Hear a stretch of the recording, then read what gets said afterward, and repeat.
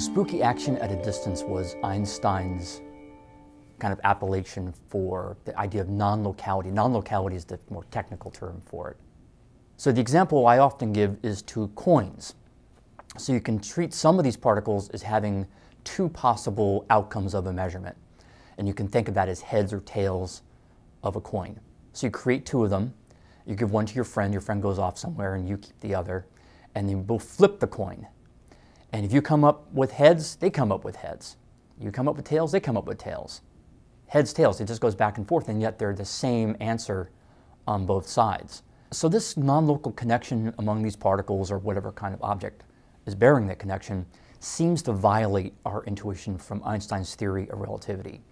So that theory, among other things, said that influences in nature are limited by the speed of light. So you can't have any kind of subspace radio or Ansible like they have in science fiction.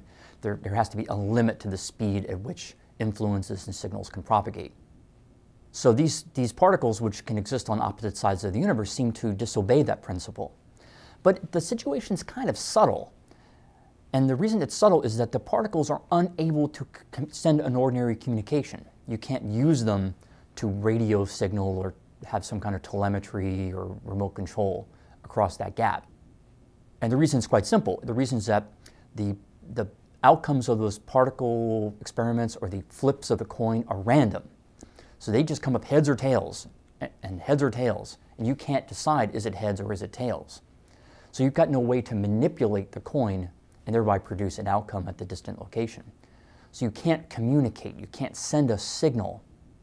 So on the one hand, the phenomenon seems to violate relativity theory, but on the other hand, it kind of pulls back from the precipice. It doesn't actually violate it in a practical sense. You can't send a signal faster than light. It still, however, poses kind of a theoretical conundrum.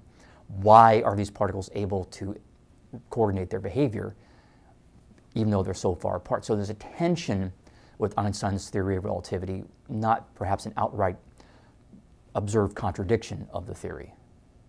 The question of why these particles can coordinate, why these coins can land on the same side no matter where they might be, has really been very perplexing. And it, Einstein was troubled by it. He thought the particles, for instance, were basically had a mechanism in them or some kind of like gimmick built into them, like a magician would have kind of a trick coin.